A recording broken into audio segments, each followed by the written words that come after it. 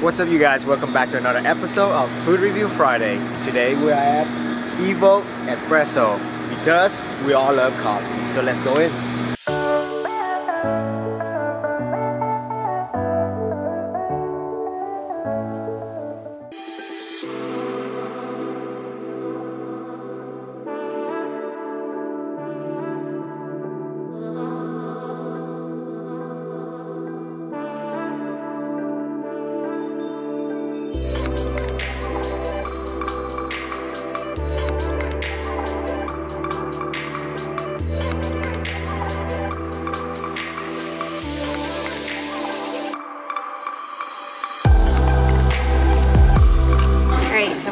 So the place is really cute. There's of seating, very open space. Um, and the staff is super friendly.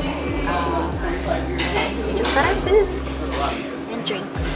So we're gonna review those. Alright, so we got a healthy acai bowl. So over here we got breakfast burrito with chorizo in it. And I got my usual vanilla latte. And oh, Audrey got her iced vanilla latte.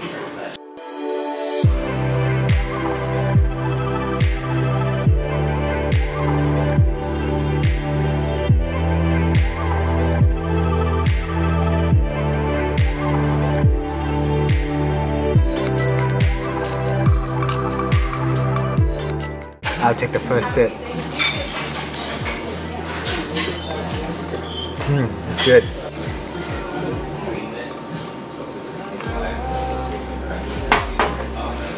It's not overly sweet, still hot.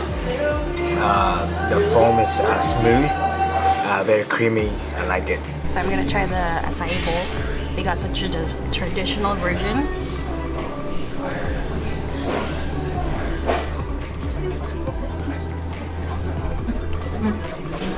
Acai is a little bit watery than I would like it, like like a little bit thicker.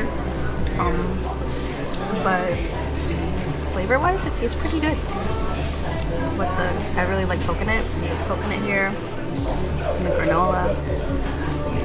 It's a good healthy breakfast.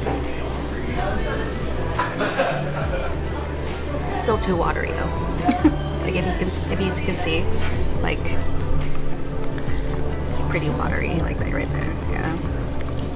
But we're gonna eat it anyway, of course. All right. Um, one thing about this coffee is uh, coffee shop is they don't have like uh, metal forks and uh, metal utensil, so it's kind of hard. I mean, eating this, but we'll we'll try it. I'll try it. Hmm. Interesting.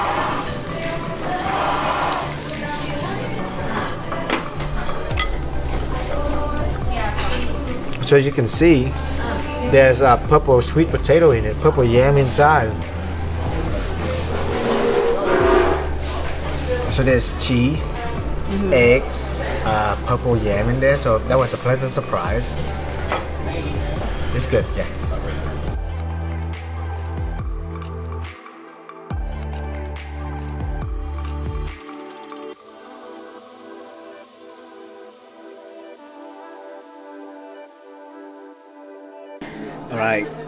So almost finished the coffee. But my lips and teeth after the acai bowl look a little purple. Yep. Just wanted to update that. So I think we're done eating here. So we're gonna do our usual review outside. See you outside. All right, guys. So we just got done with our coffee and breakfast. So we're gonna give you guys our usual review. Oh, I guess we're gonna rate it. Yeah.